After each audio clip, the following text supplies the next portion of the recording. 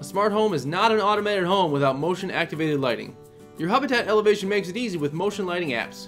Let's check it out.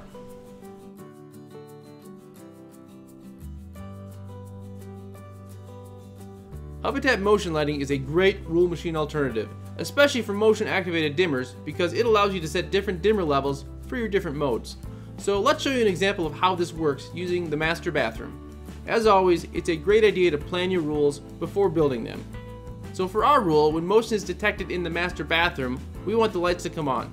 In day mode, we'll set the lights at 95%. You'd be surprised how much energy you can save by dimming your lights just a little bit without any real perceptible difference in brightness. In the evening, we'll drop it down to 50%. In sleepy time mode, we only want that at 17%, which is dark enough that it won't blind us, but light enough that us gentlemen won't miss the bowl. The lights will turn off automatically when no motion is detected, but we're going to delay turning the lights off by 4 minutes during the day and evening, and 1 minute during sleepy time. So that's our plan. Let's make it happen. Okay, so we're going to load the motion lighting app. Now, you'll notice as we open up the app, you can create two types of lighting automations. Lighting triggered by motion sensors or lighting triggered by modes. For this video, we'll select motion lighting. So we're going to give this rule a name, then follow our plan, starting with the motion sensor.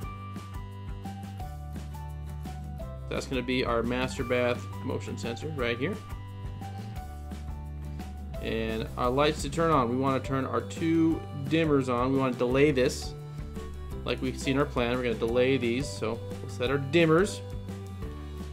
We have two dimmers in the bathroom. We want those both to turn on when we walk into the room. Motion lighting lets us select the dimmer level we want for each mode. So let's select the modes we want to use here. We're going to select day, evening, and sleepy time. We don't need to use a wave. If someone comes to rob my house and needs to take a leak, they can do it in the dark. So we'll click out of that. Now we'll just follow our plan and set the dimmer level for each mode. So for day, that's 95%.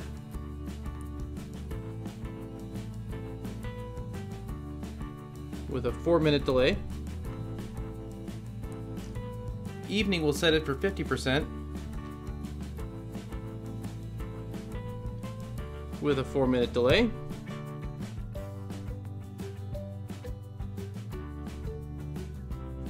And at sleepy time, we're gonna set that at 17% with just a one minute delay.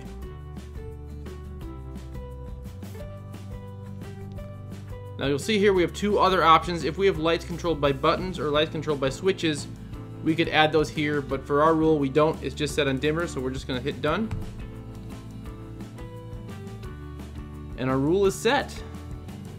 We'll talk about these other options in another video, but right now our last step is to give it a name for Alexa, and we'll call it My Bathroom.